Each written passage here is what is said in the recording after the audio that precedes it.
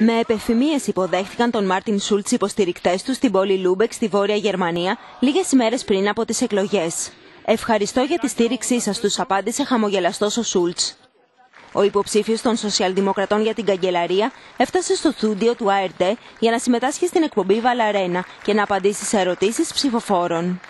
Wir sind eine vierköpfige Akademikerfamilie ähm, und können uns trotz zweier Einkommen ein Haus in Darmstadt eigentlich nicht mehr leisten. Wir müssen Πρέπει να επενδύσουμε στην κατασκευή νέων διαμερισμάτων. Στη Γερμανία δεν γίνονται αρκετές κατασκευές ούτε επιδοτούνται. Η κατασκευή νέων διαμερισμάτων είναι στο πρόγραμμά μας. Αν δεν παρέμβουμε στην αγορά κατοικίας, οι ευκατάστατοι στη Γερμανία θα γίνουν φτωχοί.